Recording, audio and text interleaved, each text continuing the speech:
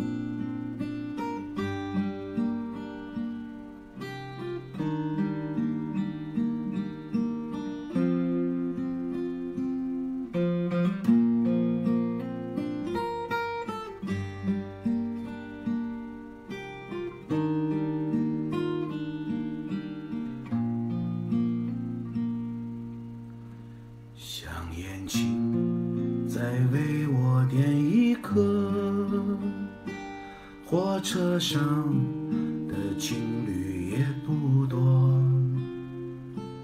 你推荐的歌我都听过，听过后和你一样寂寞。忘不了红色背心的你，抹不去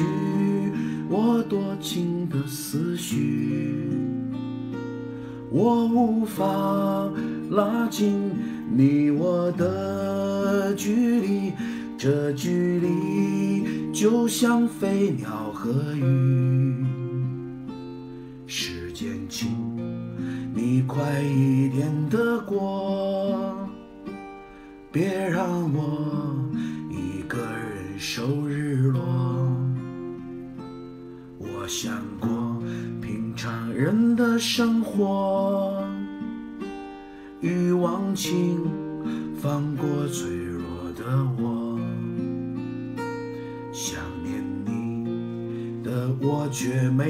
说。想着想着就要到站了，我的耳旁还在回荡着那一首八十年代的歌。我知道我的故事太多。我知道，我只停留片刻，别在拥挤的人群找寻我，感谢你成为我的乘客，忘不了暮色中回眸的你，脱不掉命运下过的雨，我无法追寻你的足迹，就让我在孤独中远去。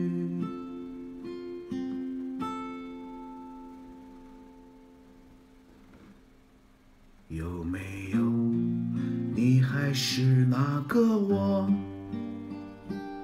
有没有你还一样的过？你一定要像晨曦一样活，不必再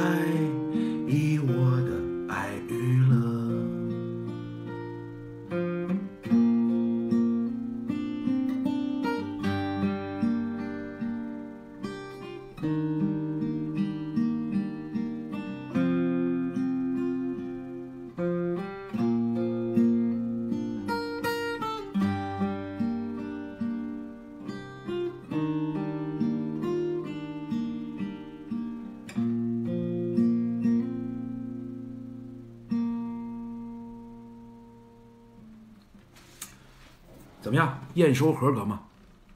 觉得验收合格不合格？这首歌到此为止，我大概练了四五天左右，啊，就到这个程度了，呃大差不差。你说有没有瑕疵呢？有。哎，你说有多高的水平水平吗？没有。但你要说说哥几个在一块儿，无论是吃个酒啊，呃，喝个花酒啊，不是，呃，喝个色酒，不是，就是喝个红酒，然后呢，或者是什么聚会。或者是什么样一个什么场合，哥们儿拿起琴来，我就这么唱一首，能拿得出手吗？能不能？啊，实话告诉我，就能不能拿得出手？啊，就就就是就这一个标准，啊，呃，能不能拿得出手？如果能拿得出手，OK，啊，就算验收合格了，啊，也没有必要说精益求精，呃呃，人生啊，有时候过得大差不差就可以，啊，什么东西啊都较真儿，这东西就没劲儿，啊，呃。无非呢就是一种感觉，啊，我的感觉到位了，并且能够把这种感觉传递给您，您听着呢，也若有所思，啊，煞有介事，啊，无独有偶，旁若无人，哎，我觉得这个效果就到了，啊，其实呢，感情就在琴里。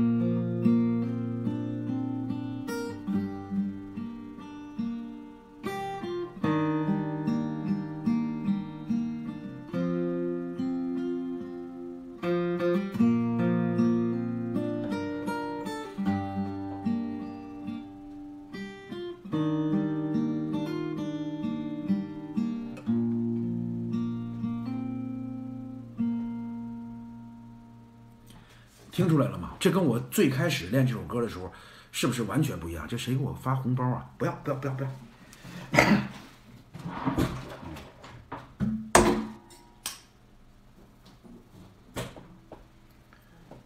啊，就是这个呃，经常上车的朋友呢，他一定知道我最开始唱这首歌呢，其实呃，和弦、节奏，包括这个弹这个前奏、间奏、尾奏，呃，都有点啊。这感觉手不够用啊！但是呢，这么几天过去了，我也没有说特别刻意的练，就是每天呢没事儿逗逗闺女的时候啊，坐在那儿想想事儿的时候啊，然后从外面回来，在沙发上歇一会儿的时候啊，以及晚上直播完了之后一时半会儿睡不着觉啊，或者等着夜里的球的时候啊，没事儿就弹啊，弹着弹着呢，这茧子呀已经啊是呃，你看有一个深深的烙印，明白吧？是吧？你说疼不疼吗？能不疼吗？十指连心，对不对？但是呢，有的时候就怀念那一钻心的疼，啊，就像这个揉脚似的，捏脚。其实你捏脚，你并不是说怀念说一双什么样的手，呃，在在给你摁脚，也不是说什么样的一个环境在给你摁脚，啊，那那那都无所谓。最重要的就是钻心的那一下疼。好了，嗯，呃，今天呢主要聊这么三件事儿。第一件事儿呢是关于张玉宁啊，第二件事儿呢是关于这个明天亚冠的正赛的，呃，中超球队首先打响的上海上港客场对韩国首尔 FC。第三件事呢，聊一聊啊，这个我看今天呢引发一些争议，呃，和轩然大波啊，轩然大波的这有关乐视的这个叫叫什么？叫呃亚冠的全媒体独家版权的啊这个争议。因为我以前呢是乐视员工，那么现在呢我不是乐视员工了，也就是说呢我是乐视员工的时候呢我不大好谈这件事儿。那么现在呢我不是乐视员工了，但是我依然呢有可能会是乐乐视的合作者。就比方说明天我也会在乐视来解说亚冠。比方说呃现在呃通知我的呢就是呃他不能叫通知我，他征求我的意见，说董哥啊您看您二十五号您有时间吗？啊呃，超霸杯的比赛，您能过来解说吗？啊，现在是这样的一个口气。以前呢是通知，哎，呃，董哥，那个二呃二十五号超霸杯啊，您来主持一下。因为这就是因为我们关系啊，就是发生了一些改变啊，发生一些改变。呃，你比方说以前呢是是是这个呃呃男女朋友啊，那就今晚来接我，一般是这样，是不是？今晚来接我，那六点来接我啊，别迟到啊。这女朋友对男朋友说的，对不对？或者老婆对丈夫说的啊，那么后来呢，分开了，分开了就说大哥，你看你今晚上能来接我一趟不？完了我说可以啊，多少钱？对，基本上是这样一个一个路子啊。所以这就这三件事儿啊，就这三件事儿。嗯，好了，第一件事呢，说说张玉宁。现在呢，我看媒体上传的呢，就是有有人说啊，说张玉宁啊，确定不和呃维特斯啊，呃这个续约了。啊，这是今天上午九点的新闻。新闻到底是来源呢？是足球报。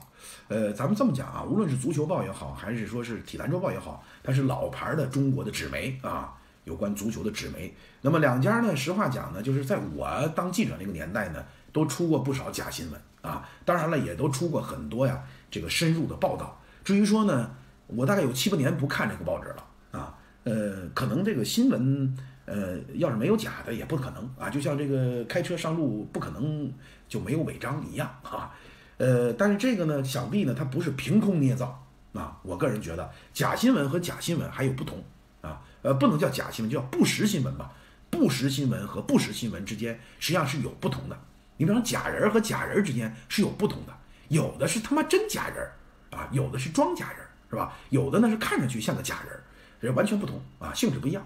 你看现在的很多自媒体，啊，就是各种什么公号这号那号的啊，有一帮孙子完全是瞪着眼睛胡说，就在家里边瞎逼写啊，就这波。然后呢，这波人为什么能够生存？是因为网站需要。你无论是这个 APP 还是那个 APP，无论是这个新闻首页还是那个新闻首页，为什么他们才不管你发的是真是假呢？对吧？你能你写的东西能够有人看啊？语不惊人死不休，那就我就不管，对吧？我网站也就负一连带责任。说你真把谁给得罪了，您通知我，对不起，那是错的，没关系，没事啊，我给你删了。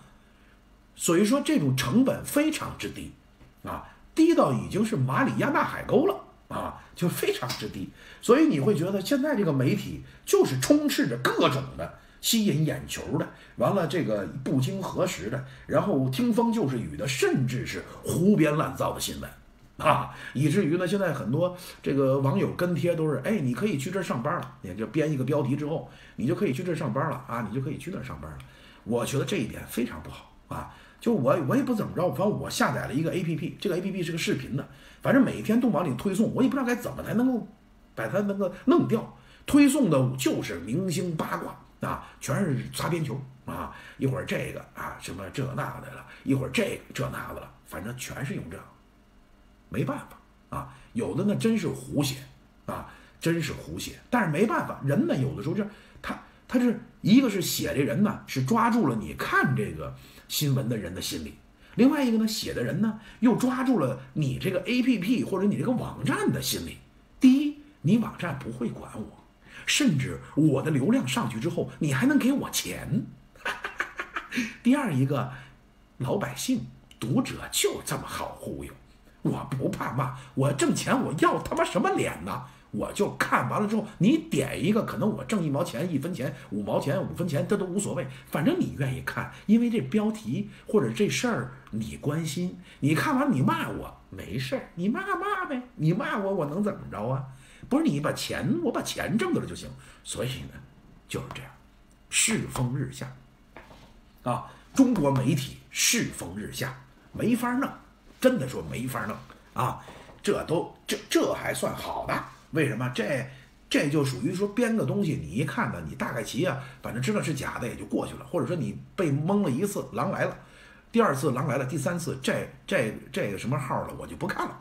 哪怕这个网站，但是我跟你说很难，网站给它往上一挂，你看这个什么百度啊，什么头条啊什么的，我看都属于此类。呃，我不是说点这两家就这两家都这样啊。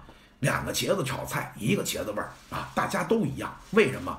嗨，你也能明白，利益呗，明白吗？流量、利益都为了这个。你想没事谁这个？你说干嘛在这做直播？你说他为什么？他不就是为了流量？你说我在这为什么？我也是，但是我知识分子，我他妈要脸呐！人得要脸，人得有尊严，谁都想挣钱，谁都想出名，这都可以理解，但人他妈得要脸呐。是吧？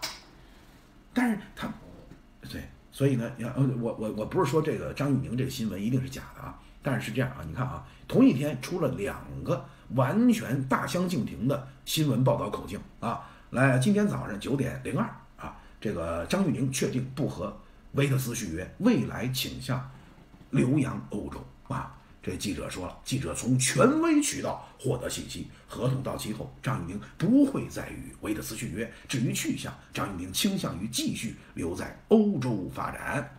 嗯，综合各方面情况看，离开维特斯后，那么张玉宁继续在欧洲效力的可能性最大。去年年底有消息说，包括意甲、德甲的球队都想签下张玉宁。嗯，好，这是今天呢早晨的新闻。呃，我看很多的地方也都开始转载了。那么今天傍晚时分，也就是十八点零五分啊，一家体育网站，呃，标题是这样的：张玉宁续约维特斯谈崩？问号，张富冒号，没有的事儿，讨厌啊！呃，今天有国内媒体爆料称，张玉宁经纪团队在与荷甲维特斯俱乐部续约谈判中无法跨越双方意见分歧，已经在寻找。欧洲联赛的下一站。为此，记者第一时间联系了身在荷兰的张玉宁的父亲张全成，后者予以否认。谈判还在继续，不然我留在这里干啥？太多国内媒体乱写一通，啊，这是这个张玉宁的父亲啊说的事儿。呃，然后这个张玉宁他爸爸有点生气啊。呃，谈判还在进行，国内的新闻我一直在关注啊。呃，诸如我们已经把荷兰的房子卖了之类的传闻。感觉是在当道啊！我始终相信谣言止于智者，呃，到适合的时候，我会把正确的讯息发布出来，呃，那不会太久的。现在处在比较关键的时刻，啊，所以我不能透露太多他们的细节，只能由由着他们自由发挥一段时间了。首先来讲，我觉得我们把这件事儿啊，好像似乎都有点看的太重啊。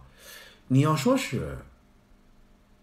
张玉宁本人或者张玉宁的父亲，把这件事情看得很重，我认为呢，呃，很大程度上是可以理解的。为什么？因为关乎孩子的未来，甚至一个家庭的寄托和希望，所以他格外的投入。我认为这个可以理解。那么国内媒体包括很多很多的球迷呢，对于张玉宁的这个关注呢，也稍微有点过度，有稍微有点过度。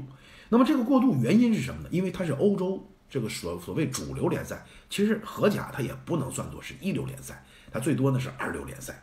反正就在荷这个，其实，在欧洲踢球的中国孩子没有八十也得有五十。但是因为张玉宁呢是国家队队员，而且最早被认为呢是颇具天赋的一个队员，所以呢他呢备受关注呢，看上去也很合理。但是我总觉得呢过犹不及，过犹不及是什么一概念呢？最后变成啊双方啊都为感情所累，啊什么意思呢？就是。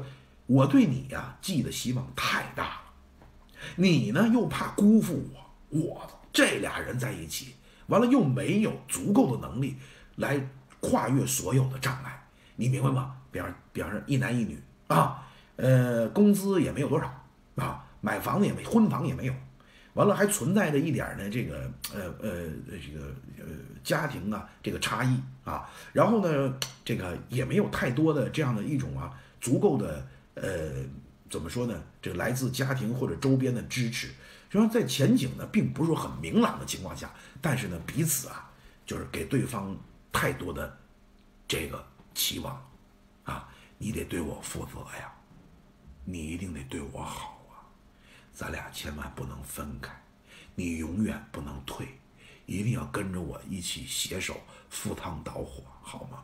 好，你呢？你也一定要爱我，啊，关心我，爱护我，每一天你都要，你都要，要，要把我当做手心里的宝，啊，无论是谁，走街上见着女的不能看。啊，在工作当中也要想着我，咱俩一起，好吧？不成功则成仁，孔雀东南飞，一千五百米一徘徊，不行咱就咔嚓，刘兰情就就不是焦重情刘兰芝，反正咱们俩一定得往下走，好吗？行，咱们走吗？必须往前走，一定不能辜负啊！没有你，又失去你，就相当于失失去了这个世界。是的。我的世界为你留下春天，一定，我们一定要超越这些困难，因为只有爱情，爱情的力量是无穷的。哎，咱今晚上吃点什么呢？没别的了，方便面油都拧了，烟都抽的烟屁股快唱手指头了，女朋友都还在，但是没有首付啊，就是。寄托太多希望，最后就累了，反而失去了真正的生活的轻松。也许有些东西自然而然，分分合合，最后合久必分，分久必合，反而倒是水到渠成的一件事情，是吧？呃，实际上最好的爱情就是顺其自然的开始，啊，最好的爱情就是顺其自然的结束，一切要顺其自然。那么现在呢，不得不说呀。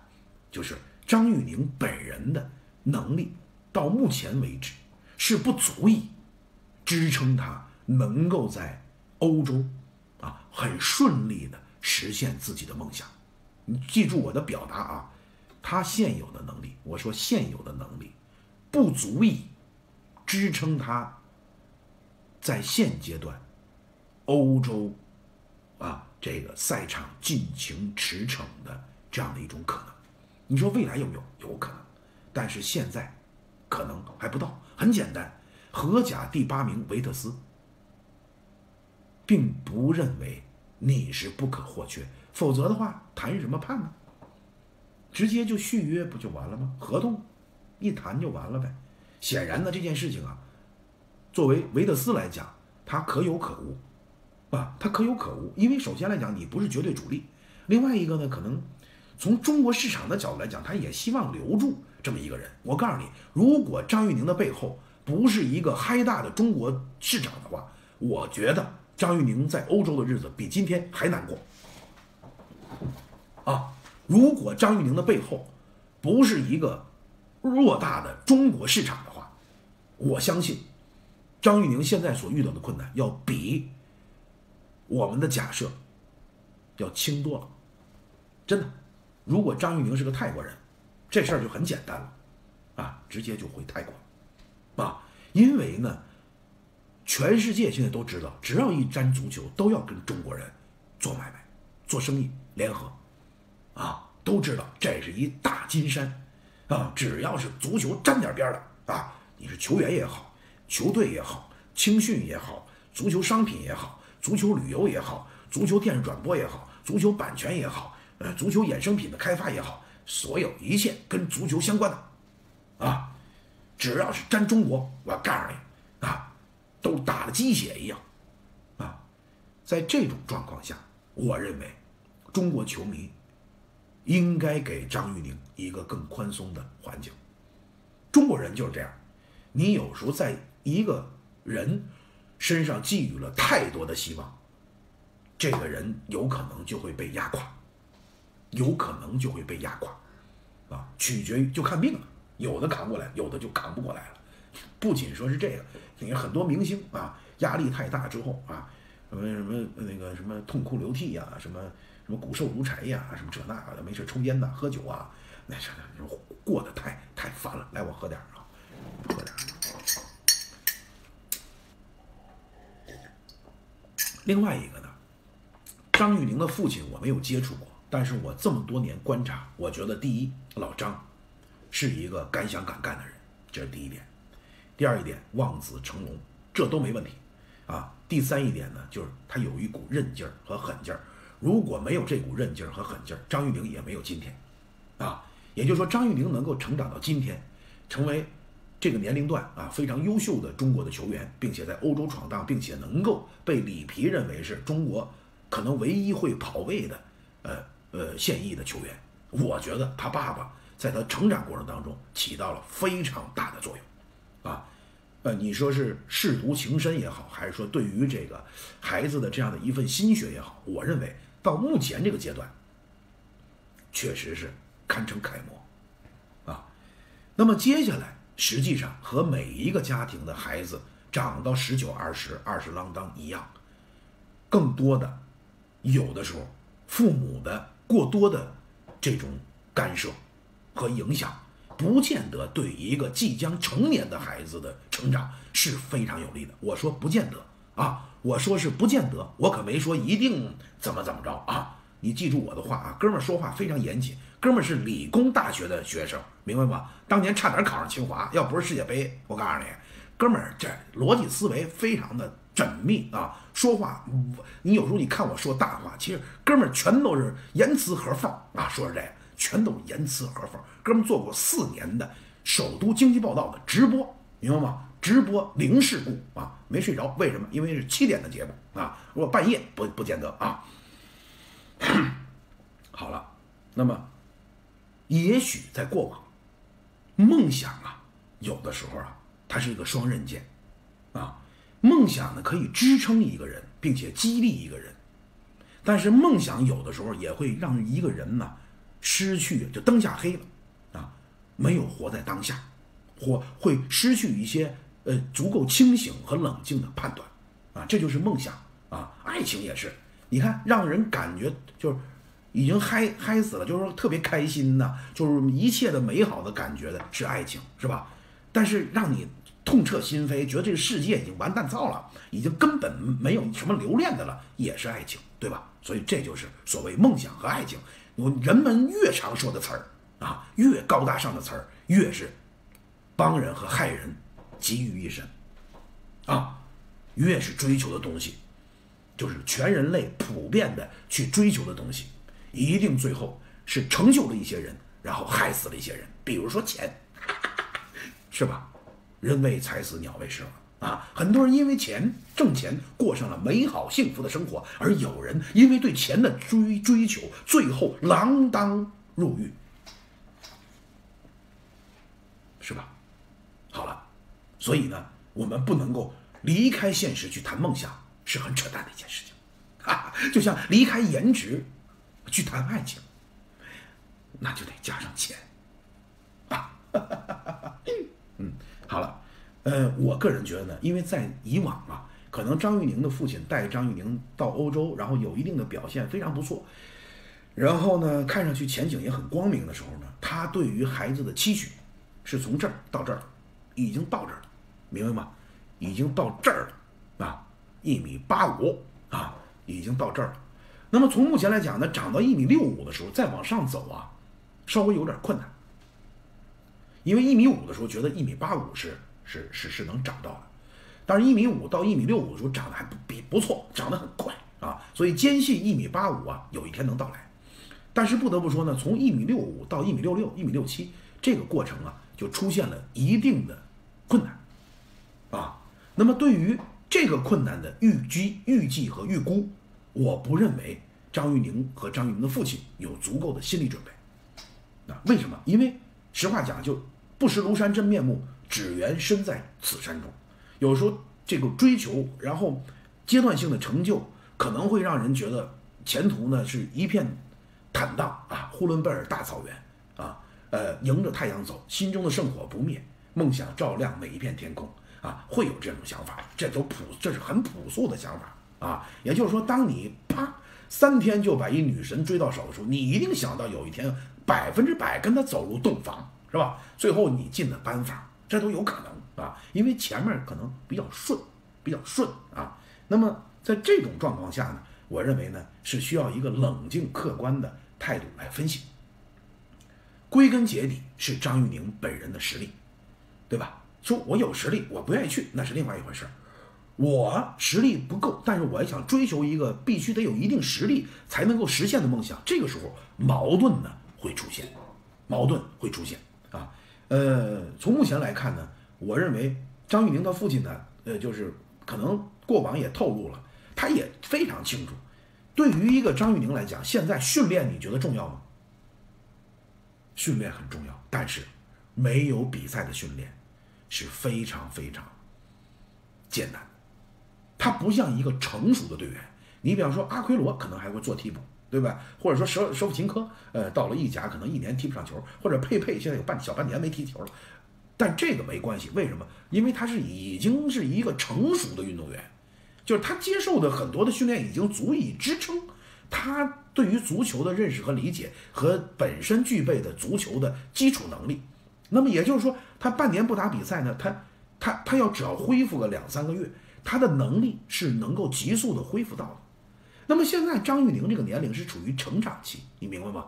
必须通过训练和比赛的结合刺激他成长。那么在这个阶段不比赛和二十五、二十八不比赛是两个截然不同的概念，啊，十九、二十不比赛。相当于就是说，你呃二十三十不谈恋爱，到四五十谈恋爱，你觉得老房子一着火，什么事儿都能干得出来，没劲儿了。四五十再开始谈恋爱，有劲儿吗？劲儿了，没有激情了，对吧？什么年龄段干什么事儿，是吧？那么这个年龄段最重要的是比赛。说训练和比赛有多大区别？区别太大。训练当中。从中圈掉到球门里边的职业运动员，十个里边八个可以做到。请问比赛当中有多少人做到？请问有多少人做到？训练当中，无论是梅西也好，还是丁海峰也好，都负角度都能打门。请问比赛当中有多少个这种情况？有吗？啊，那天我发一视频，啊，启航队的队员。拿球之后，中场中圈弧前面一点，一脚吊射进去了。一帮玩键盘的，玩非法 online 三的，玩实况足球的，玩一这不行，这没逼抢啊，这没逼抢，这个这很多人都能做到。大哥，踢了六十多分钟了，是比赛，踢了六十多分钟了。业余的球员，中场玩这么一脚吊射啊，直接是空中进入球门。您还玩一个这简单，这不简单，大哥，哪个吊射前面是有人在逼抢的？有人的逼抢那叫吊射吗？大哥，那不叫吊射，那叫近射，好吗？所以傻子就是傻子，傻子有两点：第一，对道德特别敏感，啊，傻子对道德特别敏感啊；第二呢，对意义特别敏感啊。这这那不不逼不抢，哎呦，是这踢球有什么意义啊？另外一个道德，哎，你这个怎么着？你你这个你这个你这做的不对，你这个这都大傻子。我说的是敏感啊，就是敏感，不是说他不是说不是说人不应该有道德是非观，而是特别敏感，什么事儿都得往道德上连一点，这大傻子标志啊。用这两点去套你身边的人，自己琢磨琢磨。你觉得大傻子是不是对道德和意义特别敏、特别敏感？尤其道德，你你琢磨琢磨，你琢磨琢磨是不是这样？有没有这个？那别聊这事儿了，什么意思啊？我就愿意聊，你听我说啊。我这个人呢，我再跟你说一句，我是顺毛驴，我说什么取决于我，大哥，你不能这样。你在这听，你愿意听就听，不愿意听啊就不听。你可以跟我探讨我说的内容，但是你不能说你别聊这事儿了。你这么说是对我不尊重，明白吗？你对我不尊重。我想聊什么就聊什么，啊，这我要不这么聊，这一直播没有这么多人看。我天天就照本宣科啊！这这你想知道什么我就聊什么，没那个啊，没有，这个世界上没有那样的。你不说这个世界为你创造的不行？你躺在被窝里边，你拿一手机，闭着眼睛，你在这听，我在这坐着，天天我腰都疼啊！二百三十七场直播啊，这这不容易，行吗？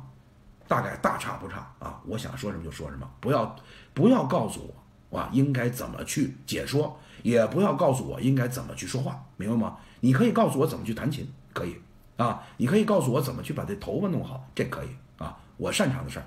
不要告诉我，好吧？张玉宁目前的这种状况，在 U 二三新政的背景之下，在外援新的赛季中超单场比赛只能上三人次的背景之下，我认为他在中超的存在的可能性要比之前大很多。原因就在于第一，他是二十三，是不是二十三以下吧？也就是说呢？这个各个队呢，每场比赛必须得有一个二十三岁的人上场，必须得有一个。那么显然，在 U 二三这个这个层面当中，啊，说能比张玉宁个体好的不多，啊，或者说没有，啊。那么从另外一个角度来讲呢，就是有可能你说他这个位置是吧？他这个位置是前锋，因为很重要，有可能人家会上一个 U 二三的边后卫。而把前锋的位置留给外援，有可能，你这说的有有道理。但是呢，只能上三个外援一场比赛，你琢磨琢磨，一般情况是不是得有一后卫？是吧？一般情况下是不是得有一后卫？肯定得有吧？好嘞。第二，一般情况下是不是得有一中得有一中场？是吧？就是你中场全靠中国人在这儿，其实你中国这有几个？有几个比较好的中场？好的大差不差都在恒大。或者苏宁，对吧？或者上港。那么，对于其他大多数十几支球队来讲，你必须得有外援在这掌控，对吧？好了，这已经是两个外援了。接下来有一前锋，是的，这个前锋呢，有可能是中锋，也有可能是前腰，也有可能是边锋。那么也就是说呢，张玉宁作为中锋的存在是可以的啊。你别忘了啊。高洪波那个时候尝试让张玉宁踢的可是在吴磊身后，啊，并不是说突在最前面。我看效果还大差不差，还可以啊。另外一个，如果说确保在中超这个层面上能打上比赛，我认为要比坐欧洲的冷板凳要好，这是我的判断啊。那么荷甲第八名梅世逊上。在某不是没实际上，就是如果说存在没打上主力，那么显然存在一定的问题。这个问题是什么呢？我曾经在车上跟大家一块分析过，张玉宁非常有着非常高的球商，啊，在欧洲的多年的训练，使得他的穿插、跑位、接应、出接、一脚敲敲球啊，以及呢整体的配合意识都没有问题。否则的话，里皮。怎么可能给他那么高的评价？这干嘛？爱神什么意思？爱神啊？那么好，那么人就是人无实权，瓜无滚源。张玉宁也有他的弱点，每个队员都有他的弱点。你比方阿奎罗个矮，梅西可能个儿也矮点，是吧？C 罗有点弱点，就是队友进球不去庆祝啊，这可能都是弱点，每个人都有，每个人都有啊，每个人都有。那么张玉宁最大的弱点呢，是我说过爆发力和速度啊，爆发力和速度。那么这种爆发力和速度对于一个中锋或者一个前锋意味着什么呢？其实你说怎么着呢？意味着什么？这个事儿反正它相当于呢，就是我做一直播呀，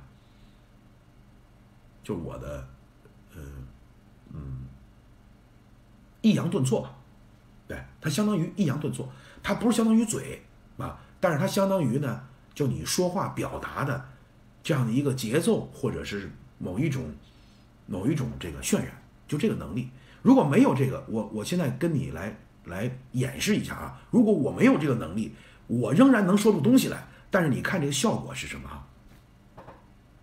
啊，你看张玉宁吧，他平常应该说还是一个非常好的队员，呃，他身高我觉得也挺高的，然后。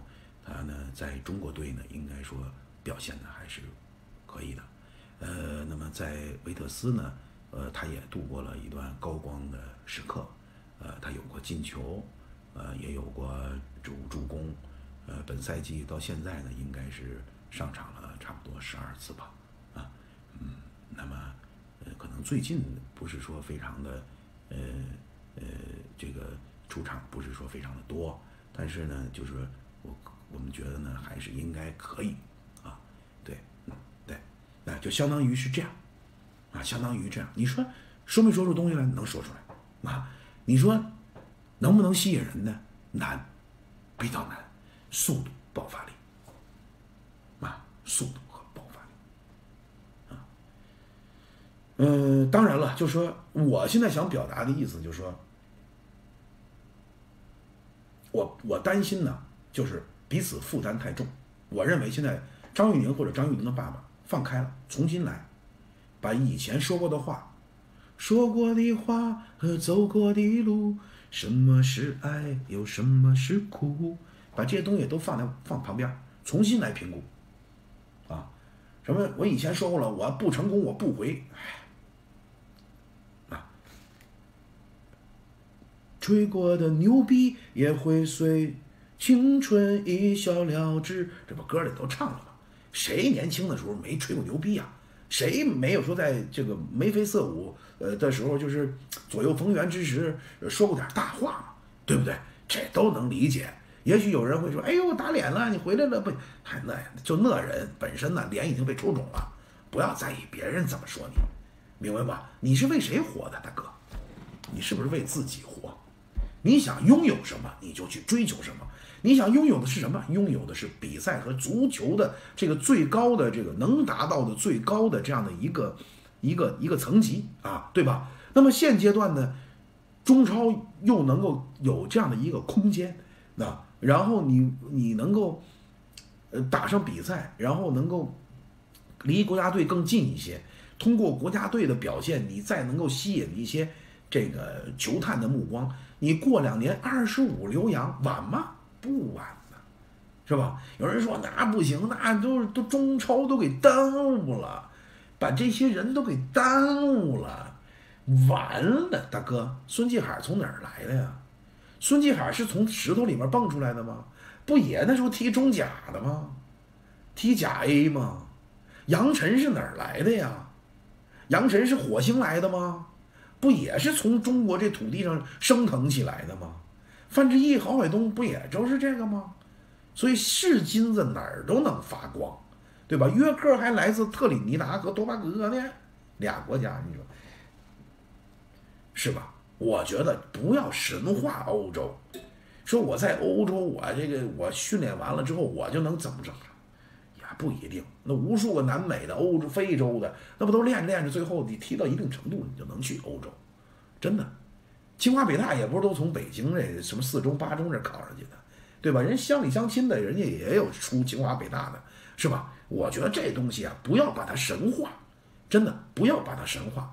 归结起来看天赋，第二呢看个人努力，第三看造化，啊，看造化，也就是造化弄人，是不是？你有能力、有水平、努力的人多了，多了去了，最后成功的不那么多。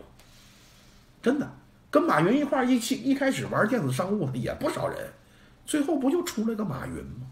对不对？跟韩寒一起写小说的也不少人，最后他出来，这东西就是就是你你没法解释，是吧？所以呢，你你你啊，你在中超就不努力了，你在中超你就咔嘁哩咔嚓砍瓜切菜了，你在中超你觉得你就平汤了，没那个，一屋不扫何以扫天下，是吧？我觉得十九二十岁在中超踢两年怎么了？就毁了？二十二三再去欧洲不行吗？对不对？是吧？所以我觉得呢，现在就别为这名或者为面子所累，是吧？又不是国企，国企老板好面子，你普通人别把自己看太高，是吧？有什么面子呀？生存是第一位的。你别看我臭知识分子，如果有一天我真的一分钱我也不挣了，我我就开口挣钱，我就给人主持婚礼去，怎么着啊？对不对？我真失业了，一分钱没有了，我就是一场十万给人主持主持婚礼去，全全国跑。哥们儿主持婚礼能把我告诉你，我丧事儿我都给他给他煮成喜事儿，全是喜丧，对不对？你也有时候没有什么尊严，生活是是最生生存，然后才是尊严，是吧？你说你最后一个孩子花那么大力气培养，你最终你说你因为要点面子，完了最后死扛，扛来扛去效果也不好，何必呢？就为几句话，说出去的话就说出去了，是吧？没有什么也了不起的，谁没谁谁没说过大话？完了，嗨，谁没有几个人真正关心你啊？我就纳了闷了，没有几个人真正在意你说什么做什么，真的，这都是实话。你以为好像你哎呦，我不能这样，周围人怎么看我？同事、领导，周围人这那个的，除了你们家人真正在乎你，没有谁在乎你，真的。你就有一天我沦落街头了，你就就这些乘客里边有几个说能为我落下泪的？有落泪的也是他妈笑出眼泪的呀，是不是？咱们都说的实实在在的，好不好？咱们都实实在在的生活，好不好？哎，所以有的时候别别太在意，是吧？有的时候我我有时候在意别人说什么，其实我从内心角度来讲，我是他妈想帮他们，真的。我有时候看这帮喷子傻逼都这么大岁数了，完了还这么看待事物，还这么看待问题，我真的着急，因为爹妈父母已经管不了他们了，是吧？我是希望，就说你好歹我给你一个刺激，你能知道，你重新你幡然悔悟，重新开始做人。好了，不说这个了。所以我觉得呢，这张玉宁这个事儿呢，咱们就就是今儿聊了一次，以后我不怎么聊了，除非他到了一个新的层面上，就不聊了。把他忘了。现在很多 A P P 上非得把维特斯的这个这个比赛也当做中国足球一部分，每场比赛都在这预告，没那个必要，真的没那个必要。要这么个预告的话，你妈韩国人、日本人每天就得预告多少场比赛呀？中国人有时候就是有这太太把事儿当事儿，完了就完了。该把事儿当事儿的时候不当事儿，把不该当事儿的事儿都当事儿，最后就变成这么？活着特别累啊，活着特别累。好了，这是，这是这个这个张玉宁这事儿啊。总的来讲呢，祝福他，希望他能够科学、冷静、客观的去评估自己，然后呢，能够真正理性的去对待自己的未来。另外，这不才二十岁吗？十九二十的，别着急，真的别着急，哪儿都是人生。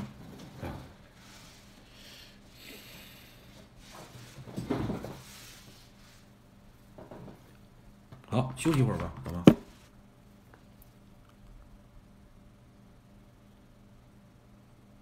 嗯，第二件事啊，第二件事说点什么呢？说说这个明天的上海上港。今天呢，这个日不落群里边一个兄弟啊，日不落群里边一兄弟呢，他是韩国的华人体育商会啊，华人体育联合会。这哥们呢，负责接待呢，凡是去韩国的中超的球队打亚冠的时候，他负责呢，帮着给组织。组织观众啊，然后协调一些事儿，啊，这哥们在现场，人家把哎拍来了上海上港赛前训练的一些呃一些短镜头啊，没有什么技战术，就是那种这这这这刚刚开始活动，呃圈抢什么的，估计十五分钟以后就把记者都给清走了，呀，欢声笑语啊，就是这个这个于海严俊凌啊，这我们曾经一块做过节目的，我看在里边也还可以啊。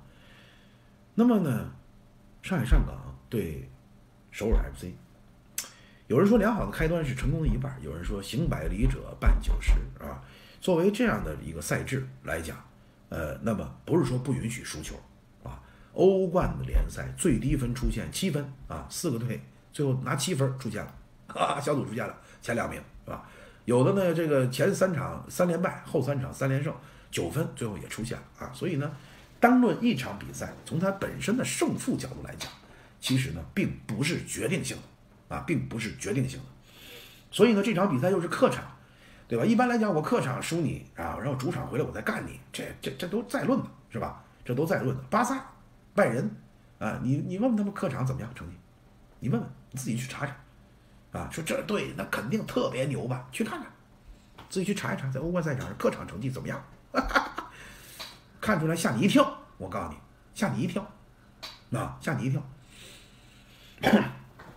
所以呢，保持一个比较轻松的一个心态，我认为这是对的啊。当然，第二点，首尔 FC 肯定是不好打的啊，要不然博彩公司不会把首尔 FC 跟上海上港同时列为本赛季啊这赔率啊这第二名的球队，夺冠赔率第二名的球队是吧？肯定是不好打。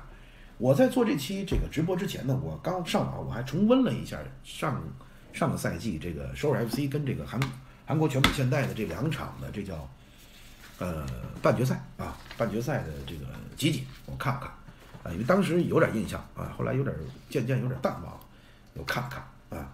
那么呃全美现在能够击败这个这个这个主场四比一，客场一比二，呃能够击败这个首尔 M C 啊，主要就是什么呢？这两个球。进的快，啊，二十多分钟，梆弄一点球，接下来梆啊，不到三分钟又进一个，这短时间内连续进球，梆梆两棒子！你说你打他一棒子，你再隔三十分钟，这哥们又活了，是吧？梆梆，哎，所以这就比较难了啊。另外呢，这个当时首尔 FC 的一个叫金金金金信金玉信吧，那大个子，一一米一米九八的九九七的那大一米九六的那大个子那。那天发挥了重大的作用，啊，从目前来看，说有一高的，啊，有一高点，在这个足球比赛当中其实是非常重要。你要是都走地面，是吧？有几个说又高又又像又又能有脚下？有几个迭戈科斯塔？这个世界上有几个迭戈科斯塔？没有几个。伊布有几个？啊，伊布如果有很多，他。曼曼联会签三十多岁的伊布吗？他为什么不找二十多岁的伊布？是差钱吗？不是，这个类型非常少啊。这说明什么呢？就说明呢，在这个比赛当中啊，往往有的时候呢，这个进攻，呃，更加明确的是找这个高点，然后高点呢头球摆渡啊。首尔 FC 呢，通过这哥们儿的这个本身地面有一定的配合，然后再加这哥们儿的空中啊摆渡等等，形成了很多的威胁。啊，不是这个全美现代给首尔 FC 呢形成了很多的威胁。呃，我说一下，如果你觉得声音小，你就重启一下 APP，好吧？就是进去、出来、出来再进去，好吧？你要觉得声音小，啊，这个并不是说我声音小，因为很多人听着很正常，只不过就是你打开的方式不对，啊，你打开的方式不对，你可以关掉啊，不着急，我不走，好吧？乖，完了你呢再进来。啊你就就能听到正常的我了，好不好？听听到正常的我了，好吧？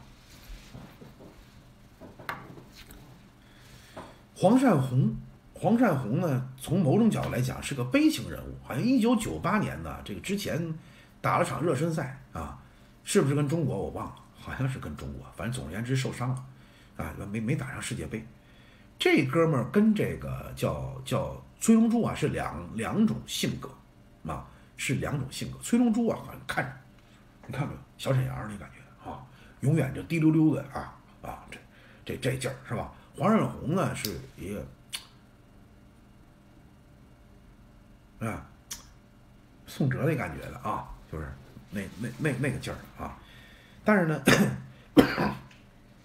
黄善红呢之前在浦项制铁，后来呢去了首尔 FC，呃，怎么说呢？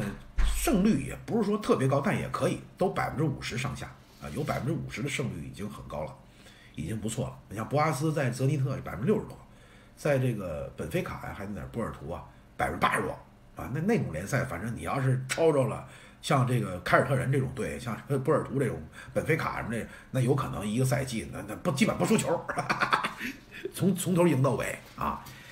那么作为这个首尔 FC 呢，我想第一场比赛肯定人家要争胜。韩国人呢，四幺四幺啊，直接给你摁住啊，或者是打你反打你这个高位的逼抢，一他一看名单，哎呦我天哪，啊什么奥斯卡在前面，什么浩克前场，什么埃尔克森，什么什么阿麦多夫，哎呀，后卫好像怎么的，没什么名儿啊，干他抢他，哎，韩国人这疯狗这精神啊。肯定要抢你后卫，肯定要抢你后卫。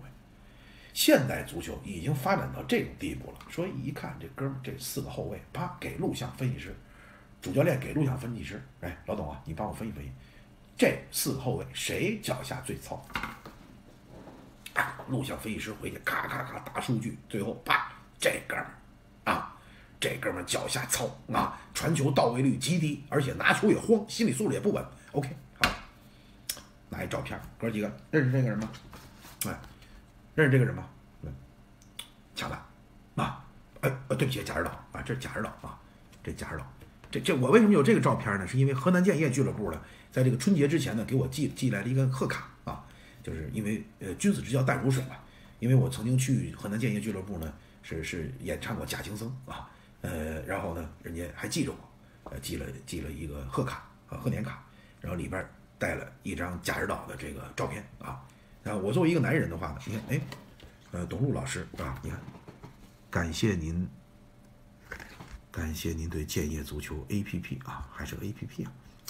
啊一直以来，他因为俱乐部弄的 A P P 嘛，A P P 也是胡老板的买卖啊。这这钱了，这个你看，要不然哪个有河南球迷要要的啊？我把这个寄给你，好吧？我转送给你，借花献佛啊，借花献佛。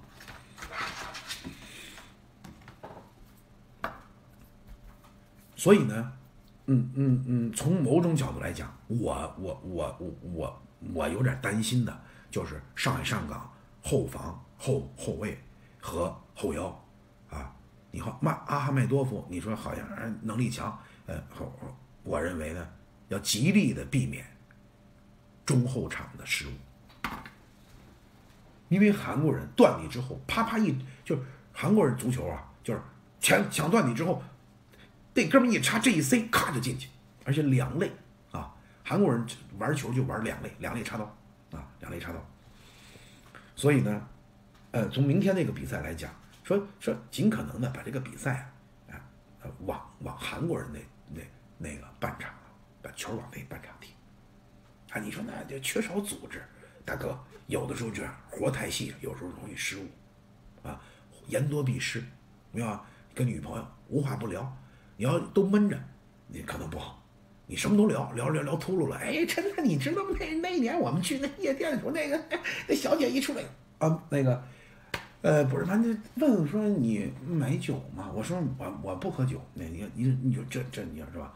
没事，你说话你你好你你好那个你你你你不要不要不要说太多啊嗯嗯，然后呢，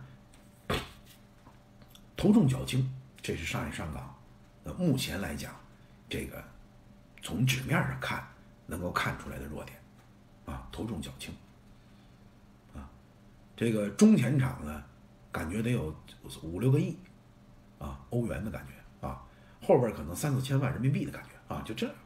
那这种差距呢，一般人会想以攻代守啊，我干他呀，我前面那么厉害，是吧？我前面那么立马，我就骑一一红缨枪，我这边我拿一拿拿一个橘橘子杆儿，我前面绑一枪头，丈八蛇矛，我这我干他呀，大哥，你这么抡。抡抡抡快了之后，咔嚓折了，明白吗？是不是？刀刀把很重要，刀刃当然很重要，但刀把更重要，因为瞎抡你是挺快的，最后叭一抡抡折了，是吧？所以我觉得明天啊，这场比赛一定要一，实际上它还兼备着一个为中超啊来定调的这么一个作用啊。你这场比赛如果说摸索了一定的经验，哎，反而呢可能会为。接接下来的中超的比赛，你也会打个样，是吧？嗯，所以呢，我觉得上海上港呢，这个你像第一场那个资格赛，比较决定性的作用。其实为什么说下半场比上半场打得好？虽然说上半场二比零，下半场一比零，是吧？但是我当当天晚上我就说，我说下半场打得好，上半场其实扯淡。第一个进球我们说了嘛，要不是那后卫突然间这个倒了之后，你进不去，没有第一个，上半场就没有第二个。这东西都是这样，明白吗？所以呢，为什么下半场好？是因为上半场有点太急了，那就像一棒子给人打死，太急了，而且都往前扎，这是业余比赛当中经常出现的，是吧？后腰一拿球，呃，三个前锋啊，不是，呃呃，一个前腰，一个前锋加俩边锋，咵，四箭齐发，往上都往上怼，那是拜仁的路子，那不是上港，那叫拜仁。有强大的中场，你有克罗斯吗？你有阿隆索吗？你有比达尔吗？啊，你有赫雷拉吗？赫不是赫迪拉，不是赫迪拉已经很早了，是吧？你有马特乌斯吗？贝根鲍尔有吗？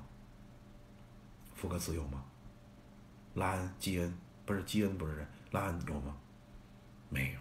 里德巴尔斯基呢？没有。赫鲁贝斯呢？没有。鲁梅尼格也没有。那菲舍尔有吗？没有。那你你卡恩有吗？没有。那就布布赫瓦尔德有吗？没有。那那你你们干嘛呢？是吧？嗯，巴拉克有吗？你有安胖子吗？没有。什么建议我安安装一什么东西？什么意思？哎，所以呢，利用韩国人、韩国人、日本人、韩国人，他有他的优点，他也有他的缺点，啊，你看我跟韩国人提过，我也跟日本人提过，然后我去过韩国，我也去过日本，呃，在这车友里边呢，就那日不落群里边呢，有几十个韩国朋友，也有几十个在日本的朋友，啊，我们在交流啊过程当中呢，我们发现韩国韩国大韩民族啊，日本大和民族。啊，他他有他的弱，他不他有他的优点，他有优点啊，比比较坚韧呐，隐忍啊，或者是怎么着，这个这个这个这个，呃，有小有小德无大德，反正等等等，反正有有有有有有有不少这个这个优点啊，但是呢，他有他的弱点，他弱点有时候就是什么呢？就我用一个表情形容，就这个啊。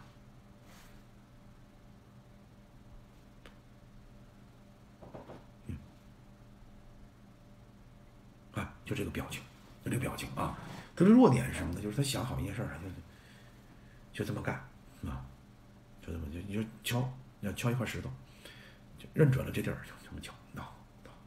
大哥，你在旁边你再敲敲，可能它就碎了，就在这。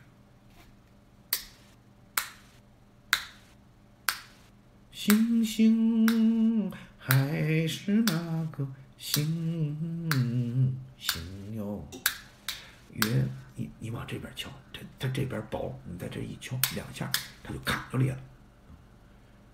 月亮还是那个月亮，哎，属于这种啊。所以呢，中国人啊，跟无论跟日本人、跟韩国人打，得小聪明，得耍耍小聪明。因为什么呢？因为你跟人拉开了打。可能差点意思，但你小聪明，啊，小聪明是什么呢？扮扮猪吃虎啊，是吧？欲擒故纵啊，七擒七七七纵啊，是吧？守株待兔啊，啊，邯郸学步，东施效颦，哈，然后刻舟求剑啊，这这些东西都是中国人啊，嗯嗯嗯，你看傻傻精傻精啊，我们要发挥我们的傻精傻精啊，我们要让他们的傻精傻精，呃，被我们的精傻精傻给干掉。啊所以呢，是需要有一些变化。来自欧洲的教练呢，有的时候他是这样，就是欧洲人的，他韩国人、日本人是这样吧？欧洲人是这样，就是欧洲人有时候他，尤其是来自一个体系，他有的时候他也是这个这股劲儿啊。我告诉你，欧洲人凡是有脑子，最后都成名了。我说过，穆里尼奥有脑子没脑子？有没有？穆里尼奥聪明不聪明？啊，就有的时候耍无赖那个劲儿，你能你能感觉到了吧？啊，拿不是当理说，对不对？就那个劲儿，是吧？瓜迪奥拉聪明不聪明？是吧？那劲儿怎么样？是不是？孔蒂一边扇呼一边说：“注意防守啊，哥几个注意防守啊，注意防守！”哎，聪明啊，这都聪明着呢。是吧？谁不聪明？温格，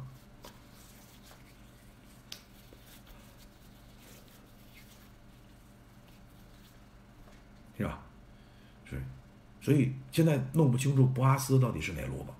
但是从我目前了解来讲呢，这个波耶特呀，像波耶特像是我就有点脑子里边少两到三根弦的人啊。但是呢，博阿斯啊，小子明眸善睐，你想他能想到啊？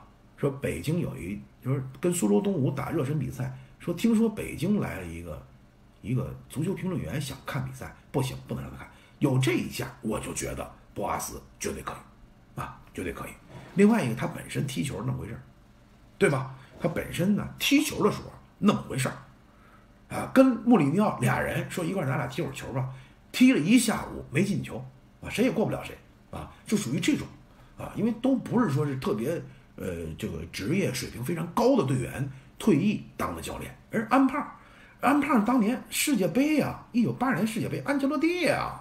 闹着玩呢，那是意大利中场啊。说那个瓜迪奥拉，瓜迪奥拉那时候那在巴塞罗那那如日中天，那那巴塞罗那那那瓜迪奥拉那那那孔蒂孔蒂世界杯呀，那孔蒂孔蒂多火呀，是不是？你看穆里尼奥穆里尼奥哪儿的？啊，做翻译的。博阿斯呢？啊，博阿斯是穆里尼奥的翻译。哦，哎，所以呢，嗯，那对齐达内是吧？这你看那个博阿斯呢，从一个。不是说踢球很很强的人，最后能成为一教练，说明什么？有脑子啊，有脑子，变通，思考是吧？然后用思考去代替自己职业经验的不足，是不是？用用用用智慧啊，去弥补自己实践的可能是某一种欠缺。像这，按说这是我相对看好布阿斯啊，我相对。看好布阿斯，当然这这我也没见过这人啊，我只是说就是从他那个，呃，履历上去分析，去分析，他应该是啊，呃，至少说呢比波耶特呀，呃，要多两三根弦儿啊，多两三根弦儿。你比如说啊，克呃就是资格赛对呃泰泰国那场比赛，为什么下半场有变化？告诉我，为什么下半场比上半场打得好了？为什么？为什么？啊！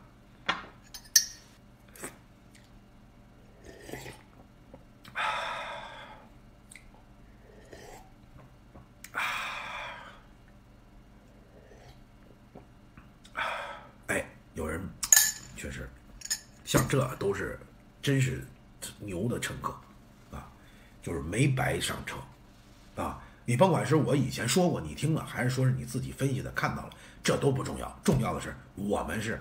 合并同类项是在一块儿啊，可以连上电的啊，俩须子把你搭上。哎，你好，二号自己人啊，是胡尔克回撤，在中场加入了新的控球的元素。以前呢，就上半场觉得干死他们，泰国人，泰国你还赢不了，干，咔咔，胡尔克、埃尔克森、吴磊，什么这个这个这个这个这个这个这个这个这个这个，呃，埃尔克森、胡尔克、吴磊。什么这个这个这个阿麦多夫，阿麦多夫，还有谁来着？啊，奥斯卡，咔咔往上，不要，没有中场，没远了就是近了，近了就是远了。说快了其实就是慢了，一味大快没有控制，这这不对，节奏都不在自己手里，大哥，哒哒咚咚咚咚。咚咚咚咚咚哒咚咚咚咚咚咚咚咚咚，人家那边本来人家泰国人就是打乱传的，哒哒哒哒咚咚咚咚哒哒哒哒哒，泰国人是这样的，你还跟着咚咚咚咚咚咚哒哒咚咚咚咚哒咚咚咚哒哒咚咚咚哒咚咚咚咚咚咚咚咚咚咚哒哒哒，你得这样咚哒哒咚咚哒哒咚哒哒咚咚咚咚咚咚咚咚咚哒哒咚咚咚哒咚咚咚咚咚咚咚哒咚咚咚咚咚，哒哒咚咚咚咚哒哒咚咚哒咚咚咚哒哒哒哒哒嘟嘟嘟嘟嘟哒嘟嘟哒嘟嘟嘟嘟嘟嘟嘟嘟哒哒嘟嘟嘟嘟嘟哒嘟嘟嘟哒哒哒哒哒哒哒哒哒哒哒哒嘟嘟嘟嘟嘟嘟嘟嘟，这叫节奏。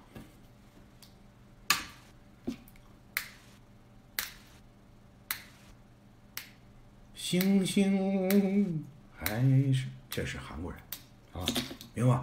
是我们要用节奏啊，要用变化的节奏啊。来体现某一种控制，然后再打。往这一看，上海上港在在在在这首尔 FC 面前，到底什么是优势呢？到底什么是优势呢？你说是教练未见得，为什么？您刚来没多久，人家黄少红已经带了三十场比赛，赢了十六场，是吧？你这边再带几场比赛啊？啊，都是热身赛，有什么意义呢？不见得，是吧？好了啊。教练不是优势，那么主场优势没有啊？人家是主场，啊。当然，首尔 FC 这个主场到现在为止啊，跟中国球队交锋打了九场，五胜四平。有人说你没做功课，这没做功课是能知道吗？这背的啊，进了大概多少？二十九个球，输了十五个球，啊，这个这个这个这个这说明这个首尔 FC 主场是蛮厉害，蛮厉害啊。那么在这种状况下呢，实际上呢，就是什么是优势？其实优势很简单，就这几个老外，别的没什么优势。你说整体有优势吗？整体就您这，就就您这个换了好几个人了，您这整体从何而来啊？说您这体能，体能你能跑过韩国人？天天吃大蒜精的，你这吃点蒜你都恶心，能行能行吗？不行。心理大哥，您那什么心理啊？您是中国人心理那是韩国人，咚咚咚咚，你这这这这这这这哪有心理？这没有心啊！人心合一，这属于啊，这属于这种。所以体能、技术、战术，还有什么？大哥，还有什么？还有谁？就是胡尔克、奥斯卡，这是优势。把这十一人的比赛怎么着能够多幻化成为一对一、二对二、三对三？哼，上海上港的优势就出来了。如果足球比赛永远是十一人对十一人，上海上港没有优势。一滴奶滴到一杯水里，最后就变成水了。明白了吗？一定要让好客这滴奶不要滴到水里，滴到盘子上，一舔，舔一滴是一滴，都是奶，好吧？所以呢，作为上港来讲，稳住防守啊，更多的长传反击啊，利用一对一突，甭上那么多人，阵型保持紧凑就行，不用上那么多人。弄个定位球啊，大左脚往里面抡一抡，抡后点，后点炸一下，咣咣弄啊！韩国人第二点也那么回事儿，要不然于海能进那球？跟韩国，是吧？那么球打过来，韩国那解围，第二点没人控制，于海帮给搂进去了，是吧？于海那球把这把中国队这彻底给害了，还不如输零比三呢。输零比三回来可能还还能稳点儿，是吧？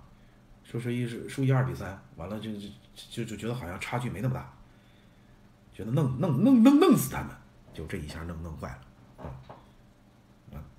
嗯，往事不要再提，人生已多风雨，嗯，所以明天晚上六点半吧，呃，然后我跟李欣呢在乐视来解说，当然了，咱们这么说啊，这个。就是我在那儿解说呢，实话讲，目前呢也没也没签解说协议，只是口头约定去了。去了呢，然后这个到底是怎么样一个合作方式呢？目前也嗯还没有没有完全定。然后呢，安排呢我们是收费这一场。那么显然呢，我跟李欣呢，呃，咱们说吧，就是虽然有些人认为我们不会解说哈，但是这市场决定呢，可能我们还是相对来讲呢，有有有有更大一点的影响力。啊，所以安排的是付费，付费解说。这个呢，实话讲呢，就是从我个人角度来讲，呃，我认为是正常，但是我本人实际上并不是说非非常这个，呃，但是因为你知道，有时候沟通也是不是不是很很很顺畅，反正就去吧，嗯，对这这场就这场了。那么，那么接下来我想谈一个话题，就是，呃，乐视呢是买的亚冠的这全媒体的版权。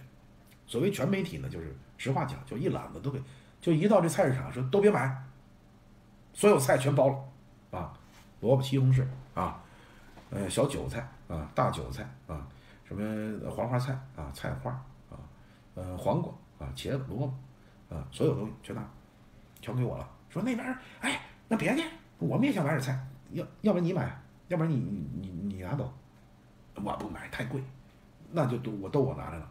行，你拿吧，你大傻子，你拿拿去吧。拿完之后，那边说我不行，我炒菜我得我得用菜啊。过来说，哎，你卖我点菜呗。这哥们说行啊。说黄瓜多少钱一斤呢？十五。我去，黄瓜咋那么贵呢？他说你看我买的时候多少？我买的时候十四，我卖你我再加点儿。他说那你这不对呀，那你这怎么你你你你凭什么卖那么贵呀？那当初你为什么不买呀？你买完你也可以卖那么贵啊。严格意义上讲，这真的是市场行为，这是一个市场行为。也就是说，当初呢，乐视呢是花了巨资来买的这个全媒体的版权。那么现在呢，他你没买的人，你得朝乐视买。那么你想买的人花多少钱买，最后是谁决定的呢？严格意义上讲，应该是卖家来决定，对吧？你说买房子，你不能说是你决定房价，是吧？你去买房子，不能说这这房子我收多少钱就多少，那不是，那保安给你打走了，开发商，开发商卖，是不是？开发商卖，那么最大的一个问题，其实呢，你说体育在一定程度上它是一个公共事业，是吧？严格上讲是公共事业，但是呢，你要说从世界角度来讲，还真没有说公共事业这一说。你在英超，你在英国，你在德国，你在意大利，你在西班牙，你不交钱你就看不上球，很现实。你不交钱，你不付费，你就看不上球。这个道理就相当于你吃。你你你去饭馆，你不给钱，你就吃不了饭，是一个，很简单。人家认为就很简单。为什么在你说哪儿都有没钱的人，或者哪儿都有不把钱当钱当命的人？我去德国的时候，一八六零和这慕尼黑，当时呢是德国这个这个慕尼黑德比，也有人啊不愿意交这钱，不愿意交钱怎么办呢？去酒吧，哎，去酒吧，俱乐部那个酒吧。免费的，但是你得买一杯饮料。为什么欧洲人一杯饮料能喝四个小时？知道吗？欧洲人就是这样，多冷的天儿也在外面嘶嘶哈哈的端一杯端一杯啤酒啊。那啤酒，你进这酒，你进这这这这酒吧的时候，他在门口呢喝啤酒啊，喝到这儿，明白吗？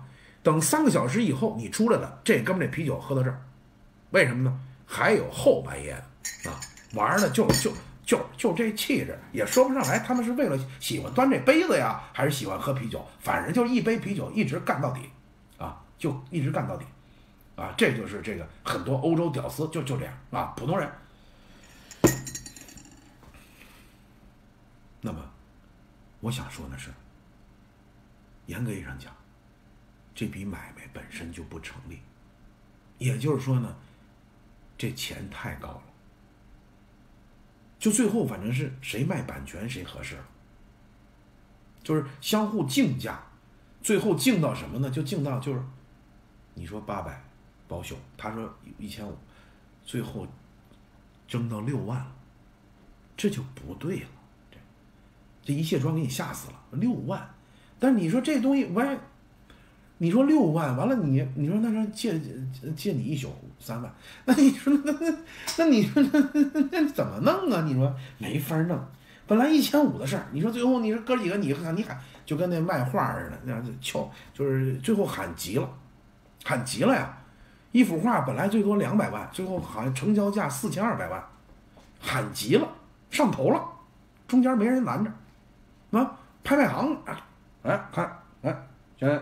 第二次啊，二百五十万。第二次二百，我说，哎，好啊，哎，好，三百万，三百，你五，三百五，三百五，五千五五，哎，最后就上头了。所以呢，我我认为呢，这个事情啊，迟早有一天呢，它会慢慢的，它会恢复正常，它会恢复正常。但是现在你要让乐视体育，让乐视说贱卖，没办法，骑虎难下，没法贱卖，没法退了。都他妈已经到悬崖边上了，往哪儿退啊？怎么退啊？所以呢，我个人觉得，啊，这事情呢，虽然我现在不是乐视的员工了，但是我想客观冷静的说句公道话。第一，我认为乐视花这么多钱买版权本身不是买卖，啊，不是买卖，是欠缺一定思考的，这是我第一点，这是我说的啊。甭管是谁花这么多钱，绝对不对。为什么？因为眼瞧着挣不回来。就是大傻都知道挣不回来。那么至于说当时怎么想的，我也不知道。那可能在资本市场上可能有有其他的这种这种这种考量，我我不清楚啊。反正我要说是买买进卖卖出，那那你你就我这杯子，你说我五十块钱买的，能卖出去吗？能卖出去吗？能，签个名就卖出去。开玩笑啊，是吧？这是第一点。第二一点，虽然说乐视买的版权可能买贵了，可能本身不是买卖，但是你你现在到这个地步，他是谋求付费也好，还是说谋求版权的分销也好，我认为换成你你也得这么做，那怎么办？你说？那你说怎么办？你说怎么办呢？有人说：“那我爷爷怎么看呀？我爷爷不会电脑，你让他看手机啊，他老花眼，电视上都没有，央视都不给转播。让爷爷玩玩电脑吧，真的，好吗？让爷爷没事整个 PC，你把这显示屏弄大点啊，让咱们爷爷看玩玩电脑吧，啊，那电视看时间太长了。那央视买世界杯版权。”乐视也播不了啊，不给钱也播不了，给钱都不播呢，对不对？所以这东西啊，商业上没有什么道德不道德，你是不是按照市场？市场是不是有标价？我是不是花钱了？买了，买完归我吧，归我，归我，我不给你行不行？可以，就这么回事不要急一下就上，我不说了吗？傻逼对道德特别敏感，有一帮傻逼又开始去骂乐视。我认为，我不是说我对乐视有什么有什么，呃，我我要跟他示好。我不跟他不用示好，这个事儿放谁身上我都是这样的评价，我就是这样的人，明白吗？而且我今年中超也不在乐视说，是吧？不存在一个我到这儿来我要跟贾跃亭，贾跃亭是好几年我都没见过，贾跃亭走街上我都不认识，明白吗？这就是我在乐视这三年没见过贾跃亭，没见过，啊，是谁我不知道，啊，没有必要，所以我就想说呢，从理上讲，理儿是这个理儿。没办法，要时光倒流到两年前，可能乐视体育根本就不用花这，根本就不花这这么多钱买这个，买这干嘛呀？扯王八犊子吗？不是卖得出去吗？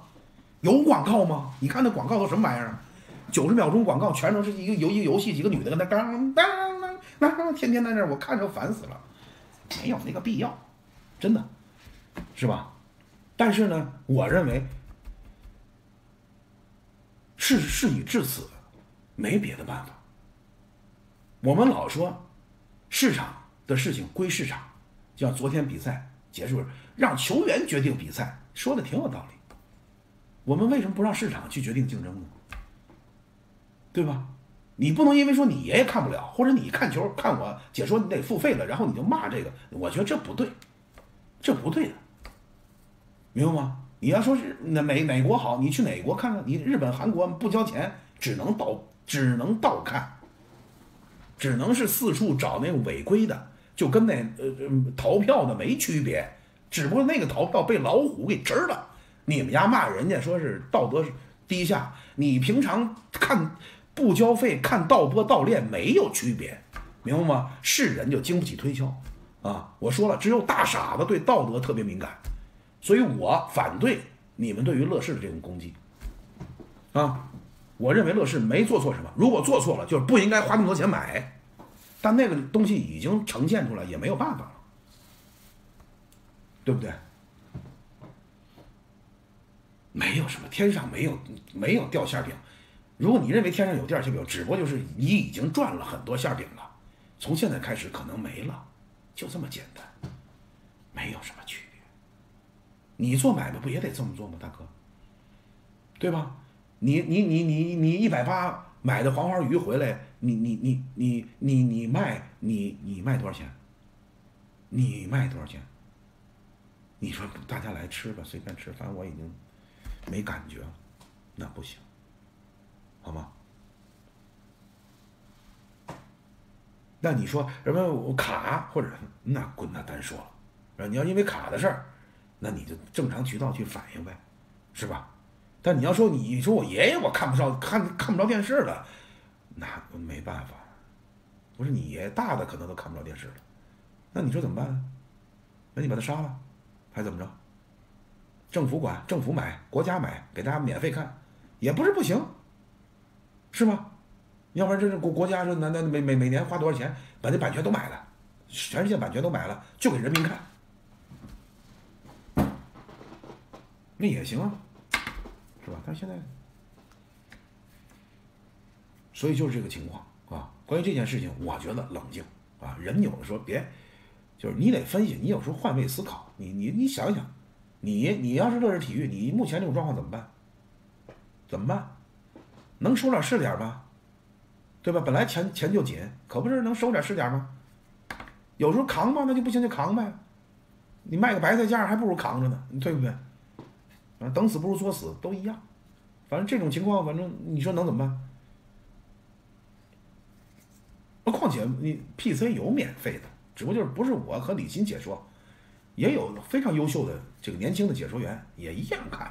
有没有我解说都那么回事，明白吗？这都不重要。你有我解说，你也没花钱。平常我这一直播，天天这样，不也一样吗？你看完了看够了是吧？就大概齐了是吧？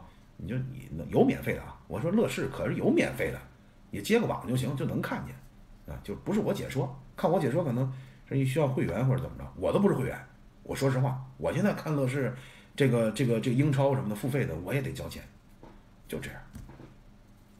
真的，你看我这微信的记录上，哎呦，在这个手机上，好多九块九的记录，微信支付的记录，就是我也得交钱，是吧？你就看免费的就完了。完了，我晚上明天晚上我解说完了之后，八点半、九点回到家，十点来钟还发一趟车，是吧？你你你看，你看免费直播，然后在这儿再看免费一直播，你看人生多完美，一分钱不花，多好。是吧？谁都知道，谁都知道不花钱是最好的。你看他们那个小平山岗里边胖翻译官都知道，老子城里下馆子都不花钱，我吃你几个破西瓜我还，是吧？都一样，大哥，别闹了，行吧？就那么点事儿，明白就完了，啊，看破不说破。好了，今儿就一小时二十八分，嗯，好吧。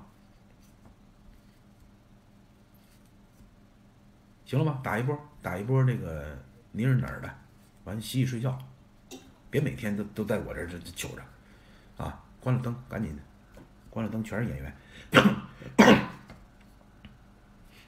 铃呢？铃呢？我今儿没叫，一直在那儿，一直在那儿昏昏睡啊，昏睡。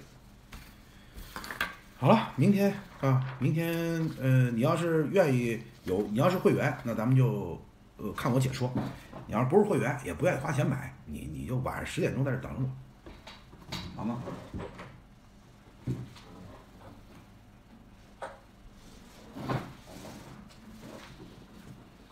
是不是？十点钟在这等着我就行。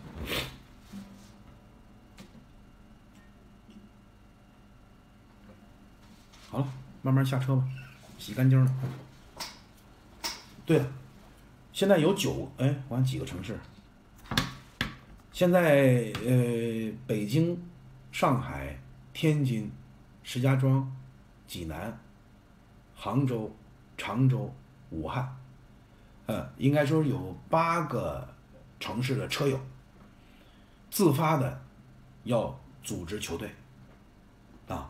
然后呢，北京已经已经已经早就有了啊，就是而且训练了、比赛了。然后其他各地的。这个球这个球迷队呢都在组组建当中，他们基本上都是在这个一千一千四五百人的群里边啊，分四个群嘛，一千四五百个车友，呃，他们自己来组队。那么我说呢，给你给大家一个月的时间，你们先自发去做，啊，自发去做，然后会有什么呢？就统一叫做启航，啊，我给收了，我给收编，叫启航。比方说北京球迷队。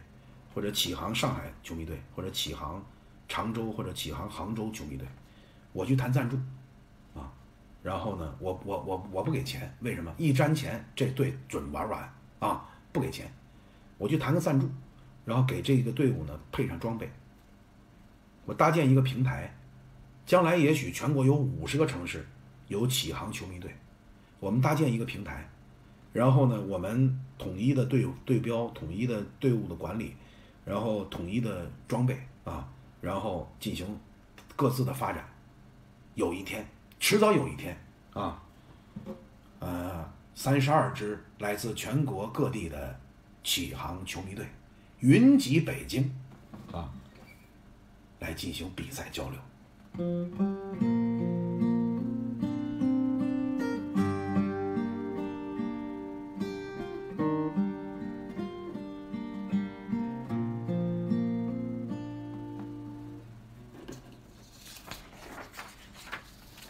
有人说你要干什么呀？我什么都不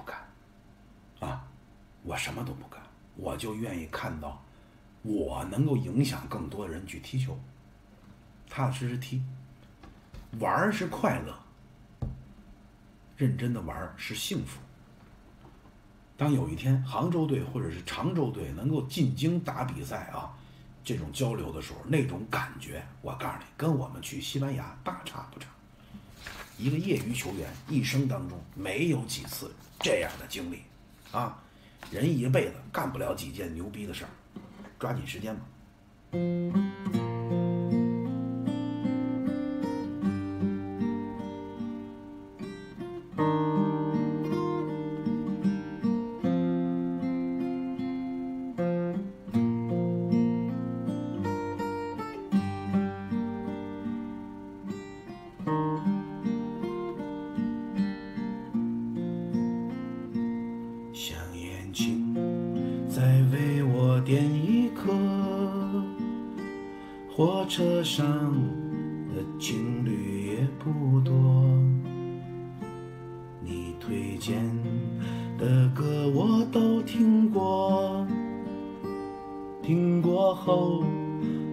一样寂寞。忘不了红色背心的你，抹不去我多情的思绪，我无法拉近你我的距离，这距离就像飞鸟和鱼。你快一点的过。别让我一个人守日落。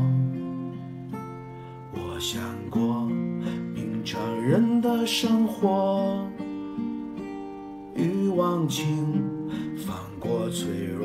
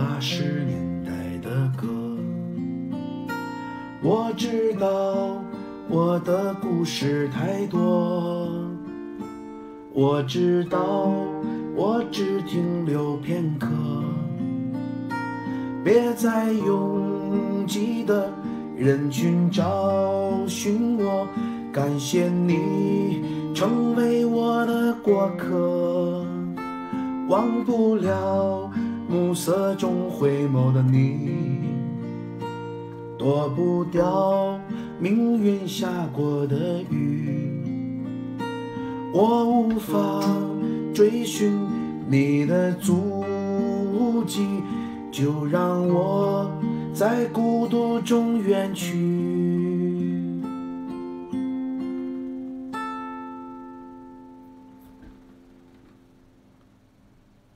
有没有你还是那个我？有没有你还一样的过？你一定要像晨曦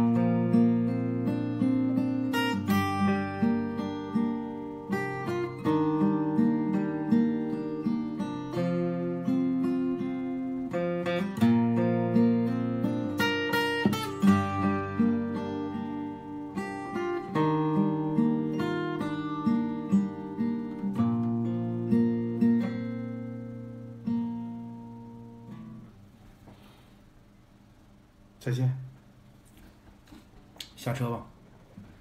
我还四十五万人呢，下车吧，早点睡觉。明天早上啊，不是明天早上该上班上班。然后那个明天晚上期待着上海上港能够带来一场胜利，好吧？好吧。后天呢，很遗憾没法解说了。呃，实话讲呢，一个是去领奖，一个是主持那个活动呢，能挣点钱。嗯，解说呢，比解说挣得多。我这人说的挺实在吧？thank you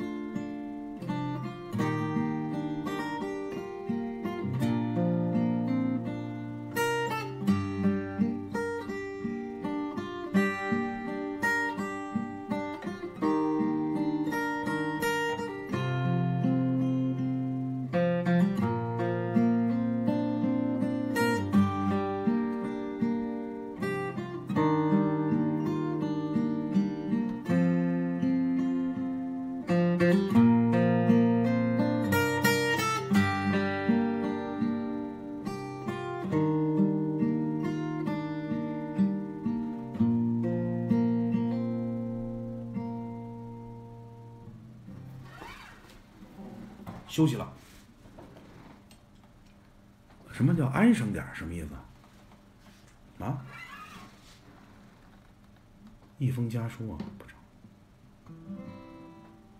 杭杭州啊，斑马斑马。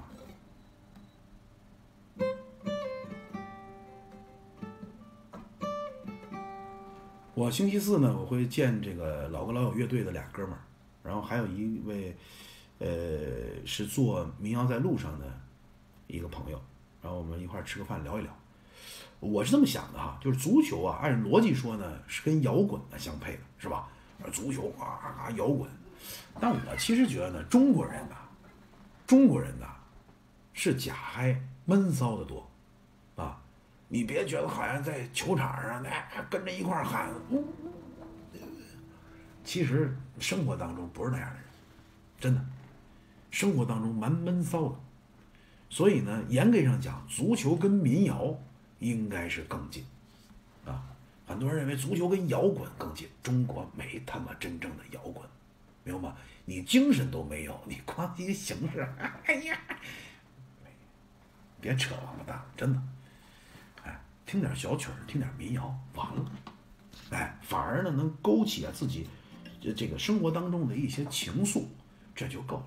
所以我琢琢磨着呢，做点足球跟民谣的关系，做点这样的事儿，比如说夏天啊，做个足球音乐节，啊，北京郊区找一块场地，啊，拉四五百人过去啊，先踢一下午比赛啊，晚上篝火晚会，烤全羊啊，能接的全给他接上，楼上有花园，楼底有游泳池，楼底站英国管家，戴假发特绅士那种，业主一进门，甭管有事没事，跟人说一句，May I help you, sir？一口地道英国轮腔，倍儿有面子。社区里建一所贵族学校，就在用哈佛，连光学费就那几万美金。再建一所美国诊所，二十四小时候诊，就是一个字儿贵。看感冒就花个万把钱的。周围的女不开宝马就开奔驰，你要开日本车，你不好意思打招呼。你说就这样的 party，一个人交多少钱？我去，怎么得两千美金吧？两千美金，那那那杀人啊！二百五块钱一个啊！你得研究业主购物心理，不，你得研究球迷的购物心理，你得研究球迷的购买能力，愿意掏两。二百五十块钱买 party 票的业主，根本他也得在乎九块九的英超的门票。